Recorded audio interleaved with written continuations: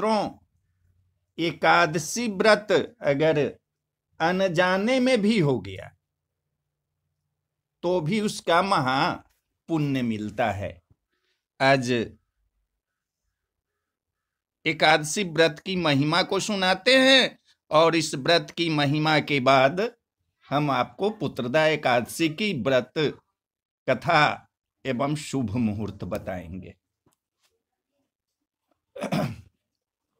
भक्त राजा रुकमांगद जी जो थे, वे एकादशी के, एकादशी को बहुत मानते थे। उनका जो बाग था, वो अनेक प्रकार के सुंदर फूलों की उत्तम सुगंध से भरा हुआ था। इससे प्रभावित होकर स्वर्ग की अप्सराएँ भी उनके बाग में घूमने आती थी। दैवजोग से एक दिन एक अप्सरा के पैर में बैगन का कांटा चुप गया, जिसके कारण से उसका पुण्य छिन्न हो गया। वह उड़कर स्वर्ग को न जा सकी, बाग में ही रह गई। जब सुबह हुआ तो मालियों ने आकर समाचार सुना, सुनाया कि एक अप्सरा बाग में परी हुई है। तो रुकमांगद जी बाग में आए। अप्सरा को चिंतित देखकर राजा ने पूछा कि तुम्हें सुखी करने का क्या उपाय किया जाए?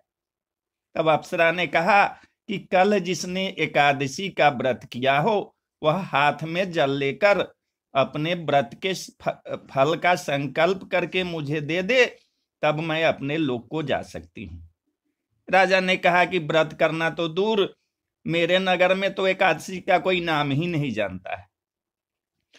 तब अप्सरा ने कहा कि अनजाने में भी अगर कोई भूखा रह गया हो, उसे ही लाकर संकल्प करा दो। उसी के फल से मैं चली जाऊँगी और कृतज्ञ होकर सदा आपका गुण गाऊँगी।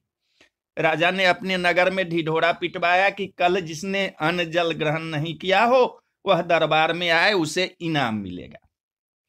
इसे सुनकर एक बनिए की दासी आई, जिस बिचारी को बिना अपराध के ही बनिए ने मारा था। इससे वह ग्लानी बस दिन रात भूखी प्यासी और जागती ही रह गई थी। राजा ने उसी से व्रत का संकल्प करा दिया। अप्सरा उड़कर अपने लोक को चली गई।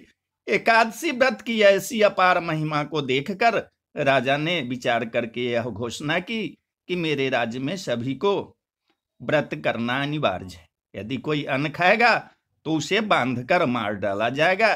इसके प्रभाव से राजा रुकमांगद के राज्य में भाव और भक्ति का बहुत बड़ा प्रसार हुआ। तो आइए अब पुत्रदा एकादशी। हिंदू धर्म में व्रतों में सबसे महत्वपूर्ण एकादशी का व्रत होता है पौष मास में शुक्ल पक्ष को पड़ने वाली एकादशी, जिसे पुत्रदा एकादशी के नाम से जाना जाता है। इस दिन भगवान विष्णु की विधि विधान से पूजा की जाती है।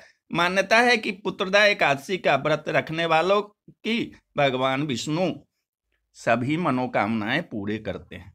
संतान प्राप्ति की कामना के लिए इस व्रत को उत्तम माना जाता है। इस साल पुत्रदा एकादशी 24 जनवरी को है। व्रत शुरू है 23 जनवरी शनिवार रात आठ बज के छप्पन मिनट से और व्रत समाप्ति है 24 जनवरी रविवार रात दस बज के संतावन मिनट पर। पारण का समय है 25 जनवरी को, सोमवार को सुबह सात बज के तेरह मिनट से नौ बजकर इक्कीस मिनट तक। ज्योतिष ज्योतिष आचार्य के अनुसार संतान कामना के लिए इस दिन भगवान कृष्ण के बाल स्वरूप की पूजा की जाती है। इस दिन सुबह पति पत्नी को साथ में भगवान कृष्ण की पूजा करना करना चाहिए, उन्हें पीले फल, तुलसी, पीले पुष्प और पंचामृत आदि अर्पित करना चाहिए। इसके बाद संतान गोपाल मंत्र का जाप करना चाहिए। मंत्र जाप के बाद पति पत्नी को साथ में प्रसाद ग्रहण करना चाहिए। एकादशी के दिन भगवान श्री कृष्ण को पंचामृत का भोग लगाना शुभ माना जाता है। और पुत्रदा एकादशी व्रत की कथा सुनाते हैं। कथाओं के अनुसार भद्रावती राज में सुकेतुमान नाम का राजा राज्य करता था, उसकी पत्नी सभ्या थी। राजा के पास सब कुछ था, सिर्फ़ संतान नहीं थी। ऐसे में राजा और रानी उदास और चिंतित रहा करते थे। राजा के मन में पिंडदान की चिंता सताने लगी। ऐसे में एक दिन राजा ने दुखी होकर अपने प्राण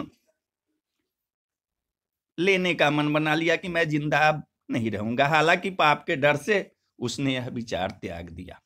राजा का एक दिन मन राजपाट में नहीं लग रहा था, जिसके कारण वह जंगल की ओर चला गया। राजा को जंगल में पक्षी और जानवर दिखाई दिए। राजा के मन में बुरे विचार आने लगे। इसके बाद राजा दुखी होकर एक तालाब के किनारे बैठ गए। तालाब के किनारे ऋषि मुनियों के आश्रम बने हुए थे। राजा आश्रम में गए और ऋषि मुनि राजा को देखकर प्रसन्न हुए। उन्होंने कहा कि, राजन, आप अपनी इच्छा बताएँ। राजा ने अपने मन की चिंता मुनियों को बताई। राजा की चिंता सुनकर मुनि ने कहा कि, एक पुत्रदा एकादशी है। मुनियों ने राजा को पुत्रदा एकादशी का व्रत रखने को कहा। राजा, वे उसी दिन से इस व्रत को रखा और द्वादशी को इसका विधि विधान से पालन किया। इसके फलस्वरूप रानी ने कुछ दिनों बाद गर्भ धारण किया और नौ माह बाद राजा को पुत्र की प्राप्ति हुई तो बोलिए जय श्री हरि विष्णु। जय श्री हरि विष्णु।